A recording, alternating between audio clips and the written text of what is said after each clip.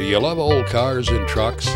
Join us on Bring 'em Back to Life, where we search the salvage yards and backyards of America to find that gold mine of a parts car or that restorable gem in the rough. Come with us down memory lane as we elevate the status of our salvage yards to outdoor museums of automotive history. I'm Dave DeGear.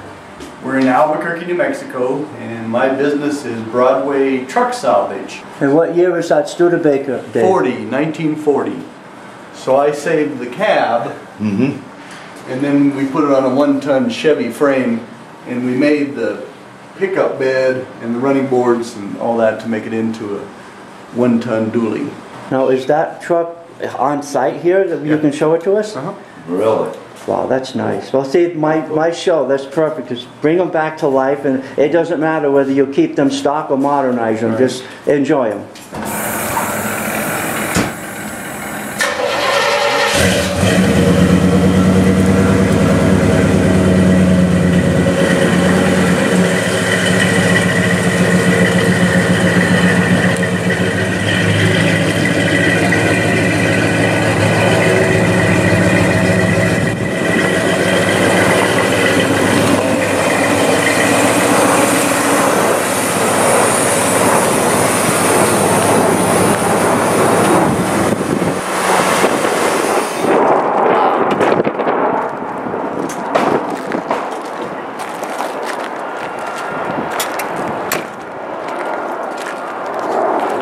Now we get to see it for real. 1940 Studebaker.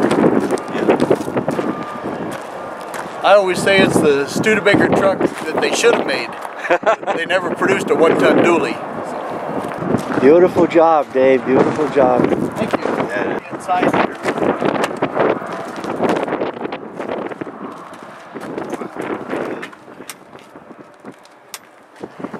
But I actually use this truck. I haul a trailer behind it and transport other vehicles around.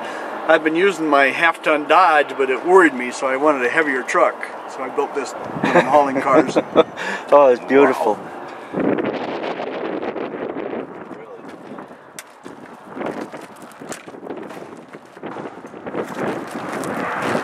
What do you think, Ron?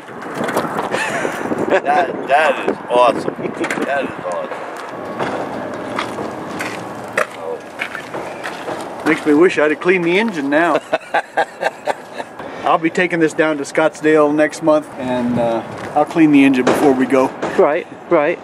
Now, Four- 454 Chevy, I was just gonna say, sounded like a big block. fuel injected, overdrive automatic, and this baby will pull a trailer. Wow. Now you've done, you've cleaned that firewall pretty much to give it that custom look in there, Uh, shaved and Didn't stuff. clean it up much, modified it a little bit where the brake booster goes. Yes, uh-huh. And then the distributor had to pull it back in just a little bit there. It already had a, a concave because it was an inline six-cylinder engine originally. So it was long. Right, right. Uh-huh. Sweet. This really, really nice. I, Thank you. How many hours did you work on? it? Oh, I don't know. You didn't keep track of the hours? About five years. Really? You know, not full time. Yeah. Oh, we, I we- understand. We built it right here. Yeah. But I have honest work we have to do before, before I can work on my own stuff. Stuff that makes the money.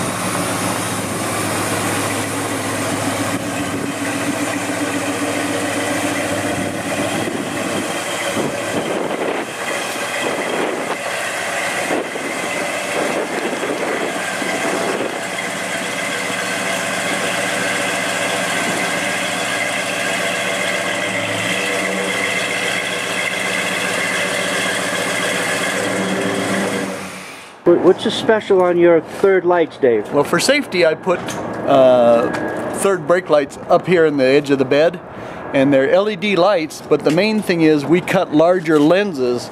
We had red taillight lenses, and we cut the centers out of them because it has a focusing beam, so you can see them a lot further down the road, and it focused the light straight behind you. So for those of you who saw Dave's lights come on when he stepped on the brake, that's custom third lights. And there's two of them. That's correct, yeah. And then after I built my Studebaker, I repainted it to match the Studebaker. But uh, we fabricated this right here. Uh, has four-wheel disc brakes and air ride suspension. So that's why it's down. The air is out of the suspension right now. But when you want to load a car, you just dump the air. There's no ramps, and you just drive on and off the trailer and then hit a switch. It carries its own air pump and Oh. and relevels automatically. So you built it in-house, so you've got a surge brake system on it That's correct. uh, that they use on the big boat trailers. Mm-hmm. Uh-huh. So that's that's the look-alike for being towed with the Studebaker. Right? and we hand fabricated those uh, fenders to fit it. Uh, yeah, I could tell. And Yeah. if you have a flat, uh, it takes about uh, 45 seconds to a minute to remove a fender. And they come right off the top. Uh-huh. Nice looking combo. Tell me about your 56 Continental. Uh, this is a, uh, a, a car I bought shortly after college, and I've owned it for 46 years now. It's a 1956 Continental Mark II. Uh, it's got about 100,000 miles on the car. It's only got 8,000 miles on the engine and transmission.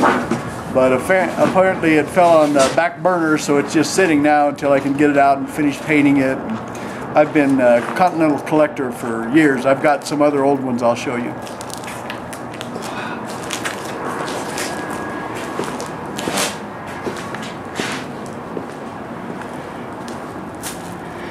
That rear bumper looks like it's really sound for having the exhaust come out through it. That was one of their issues, huh? Right. You can't find them. And even the rocker and underneath the uh, lower quarter, it's still got the clips for the stainless. Yeah. So you, you're way ahead of what most people have. The, the front bumper looks the same as the rear bumper, but they have the directional lights in it. yes, yes. Oh, that's sweet. Very.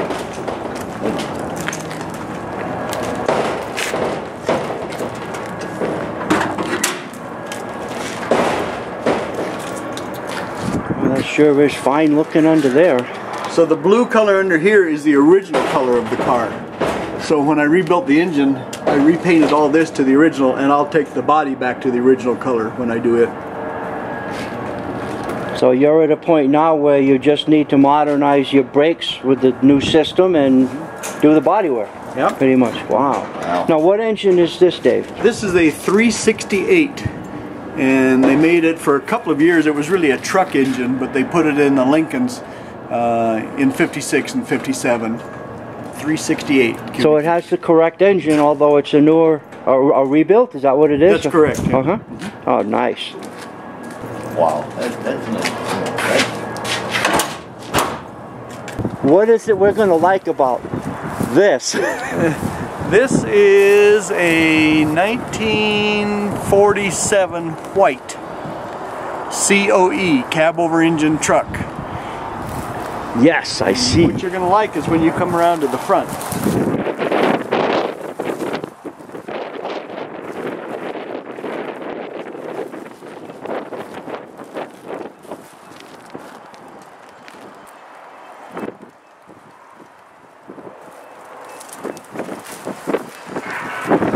Many had that emblem on it? I don't know. Um, and the disc on the front of that emblem moves to the side, and that's the radiator filler cap is underneath that. Uh, this is probably the nicest COE truck I've had, but it's also in the worst condition. And the main reason is White used wood in their frames, so the frame, not the not the fr- chassis frame, but the construction of the cab is all wood with metal put around the wood nailed to it. And so the wood is rotting away, so it would have to be taken apart and reassembled. yeah, but when was the last one you?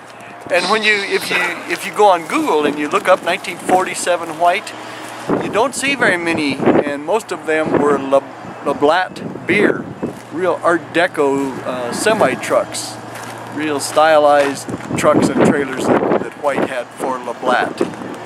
And uh, the White Company and Hudson were working together for many years. They, they belonged to the same club. They they kind of merged at some point. Right. White and Hudson.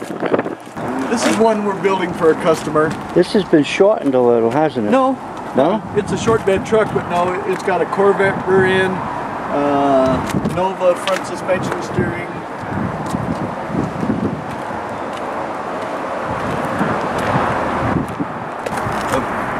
Some other Corvette stuff too. Yeah. There's a little something.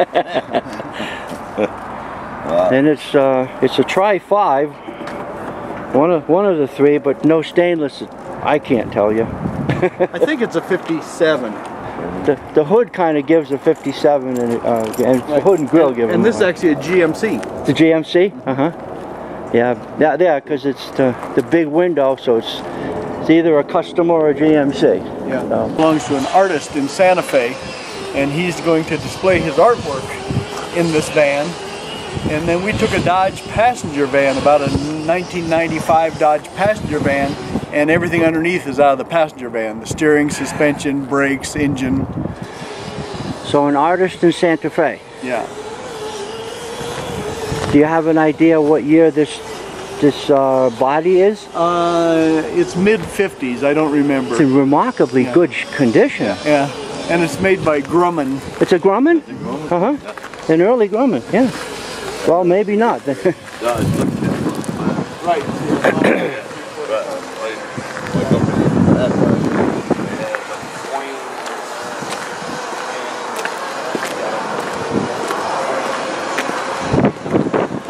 And wine. So let it wine.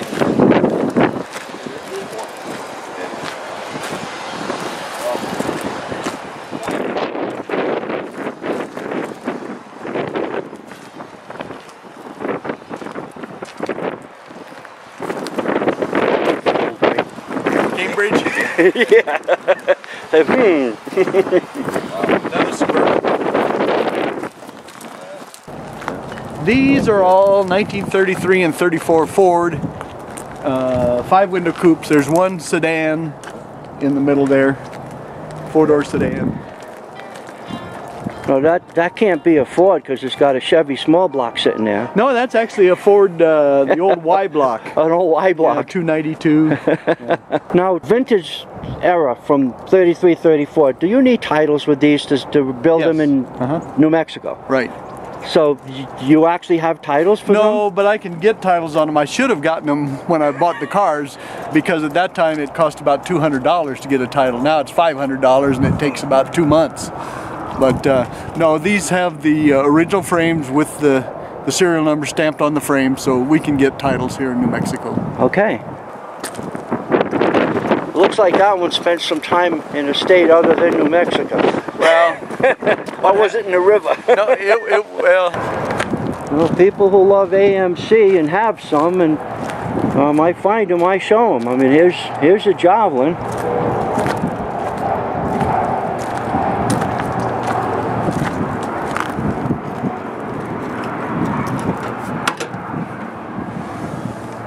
Why, it's got a clutch pedal and a shifter on the floor. Yeah. And unlike the one I found in CTC in Texas, this one's got the one that says four speed. that sounded nice.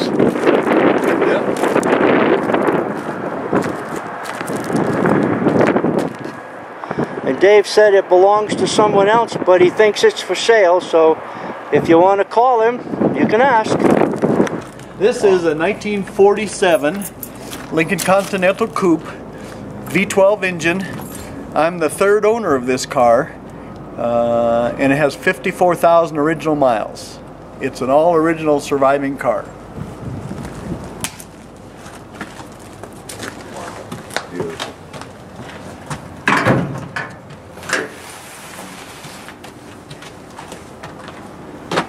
Yes, sir. Six on each side. Twelve cylinder flathead. Wow.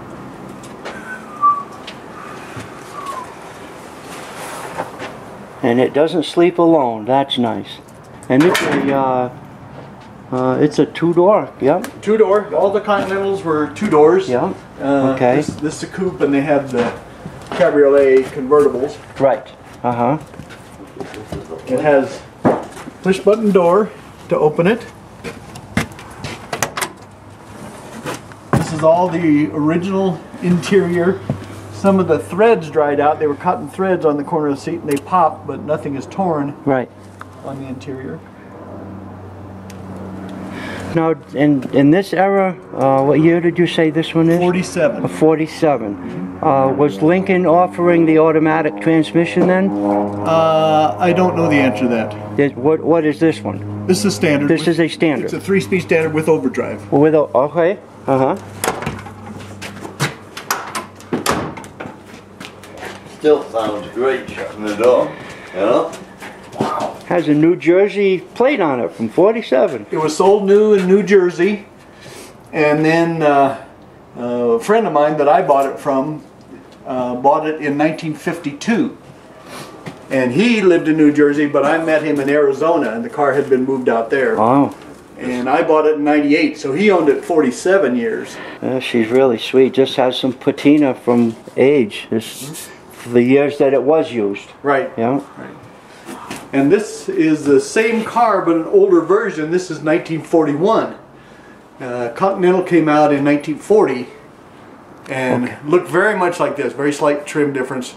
40 and 41, and then in 42 they went wider on the fenders, same body, same doors, but this also is a V12 car. For a month and a half, and then everything went to the army. Yeah, right, right, right. So yeah, this is one of the one of the last ones before the war, right here. Right. And this one uh, was very weathered when I found it right here in Albuquerque. And so I, uh, it had been hit in the front, but there were replacement grills came with it. Oh. And so I had the body straightened out in the front, and it's just in a yellow primer now, just to preserve it. Now that's that's an unusual thing to see a windshield that's split in two thirds, one third, rather than up the middle. Flat glass, so it's cheap to cheap. to Right, but that was was that the option that was original? No, no, it's flat. It just broke there. It broke there. Yeah. So you know, uh, it looks looks It's- like it might be there. It's split. it's a split. It's a split windshield. all right. And it now. literally. Okay. Yeah, the same the same model, everything. Yeah. Same windshield. All that. Another push button too. Uh, yeah, this is Yeah. uh, the the the 1940. The first one had a regular handle, and then 41 they went to the push button. And you'll see the interior's pretty bad in this one. This is out out in the weather, but in New Mexico they don't rust. They just dry out. They do. They do. They they get a little patina from the sun. This is the Continental kit for that car. oh. Oh wow. Uh, aftermarket or OEM? It's a, it's, uh, it's yeah, Mercury products. Mm-hmm. Yeah. That box is worth money by itself. There you go. goes with, goes don't, with the car. Don't throw it away. So, so do, do you have this one in, in mind to sell or you want to finish? Or I, I have everything in mind to sell. okay, No, well, I'm I'm retiring. okay, okay. Uh, and I, I'm just the caretaker of these cars now, waiting for the next person. Oh, well, that's a beautiful line. Yep. And this, This one I don't know if you'll be able to see in here. That's Uh, all, all the original carpeting in there, and up under the deck lid here. Oh, the same, yes. Yeah. Yeah. wow.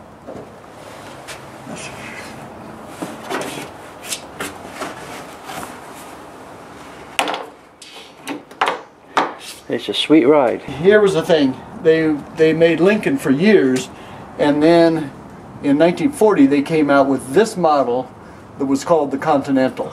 So they still made Lincoln Zephyr and and uh, but they brought out Continental from 1940 through 1948. Okay. Then they dropped the Continental, and then they were just Lincolns again. Lincoln. And then in 1956, when the Mark II came out, that was a separate division. That was the Continental division of Ford Motor Company for two years, Uh huh. 56 and 57. Then after that, then they became Lincoln Continental. Well, let me see what a windshield's supposed to look like. Oh yeah. All one piece, okay. I, I might have to leave that in. I'll tell my grands. No, don't edit it. That was cute. It adds something to it when you're, you're a human. Oh, hello over there. For all you people at home, we're doing the fun stuff with the Bondo, the filler. This is stuff that never ends. You gotta put it on and put it on and put it on and put it on. I should probably have a thicker spreader, considering the area we're gonna be doing.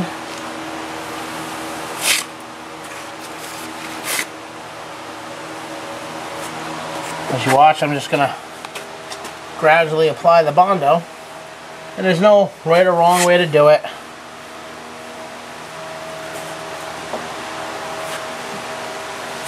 You apply it just to get it over the surface.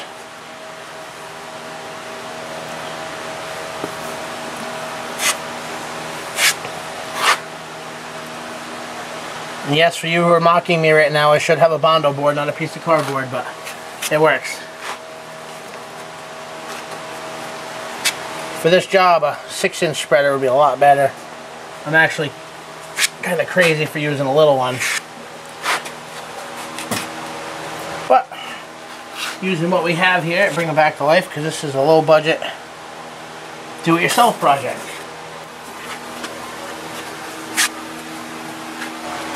If you guys are watching at home, if you've ever applied Bondo before, you know what I'm going through right now.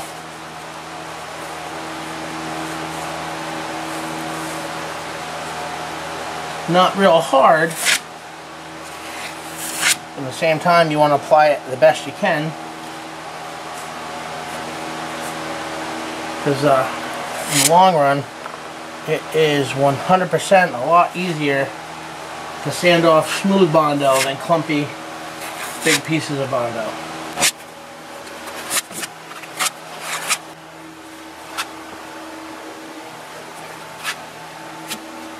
And this is going to be done step by step over pretty much the entire rear quarter, right?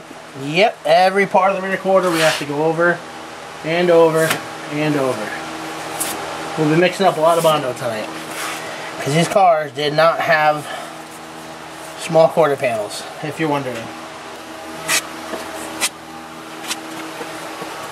You can see at home I have a little bit of a hole here which I'm going to have to fill. Not a very big one, but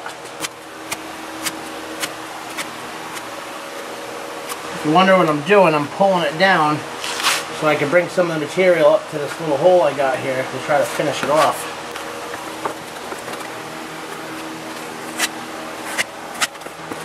Now when you're this far, you take a new spreader and you just try to mold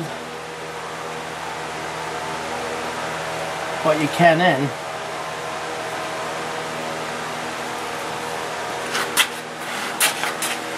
Because all this is going to get overlapped here in a minute with new coats of Bondo.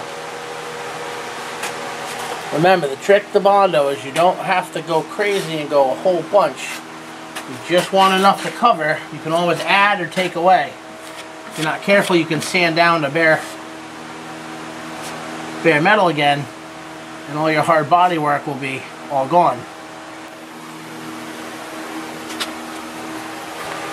You can see at home I have a little bit of a hole here.